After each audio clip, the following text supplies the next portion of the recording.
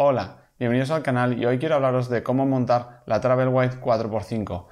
Como veis aquí en la mesa tengo el trapo para enfocar, la lupa para enfocar, el 90 que vamos a colocar, el visor de la cámara, el cable disparador, un destornillador o una llave para montar objetivos, la pantalla de enfoque, la cámara y un trípode.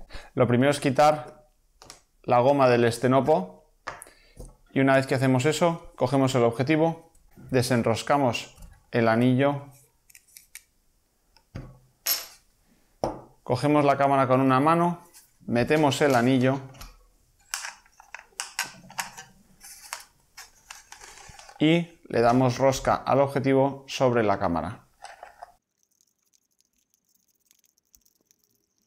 Ahora deberíamos decidir dónde queremos tener el cable disparador, que en este caso lo vamos a dejar un poco torcido hacia aquí, que es donde voy a meter el cable disparador.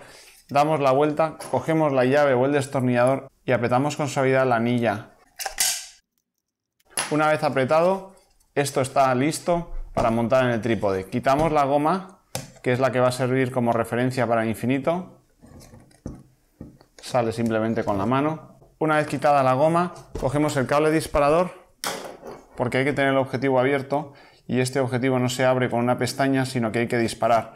Procedemos a colocar el trípode, colocamos el obturador en posición bulbo, que es la B, cargamos el obturador, disparamos y apretamos para que el cable disparador se mantenga abierto.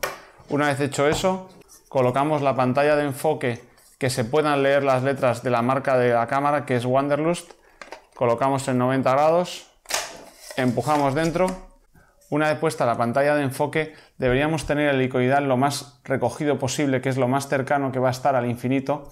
Usaríamos la lupa en el centro para enfocar ese objeto al infinito y el trapo simplemente para cubrirnos y poder ver mejor. Una vez encontrado ese punto al infinito y enfocado, simplemente tendríamos que coger, podríamos quitar el cable, podríamos quitar el trípode Ahora buscaríamos el infinito que está aquí en la parte superior del cono, cogeríamos la goma y con estos dos triángulos tendríamos que apuntar a infinito. Así que esa es la posición. Colocamos la goma y esto ya estaría calibrado. Una vez calibrada la cámara podemos quitar la pantalla de enfoque.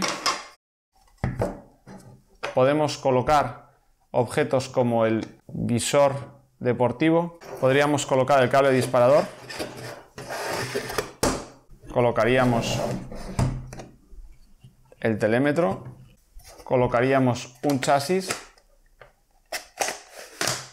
Así ya tendríamos la cámara calibrada y preparada para disparar. Simplemente hay que cargar el obturador, quitar la chapa del portapelículas y disparar. Bueno, espero que os haya gustado el vídeo y os veré en el próximo.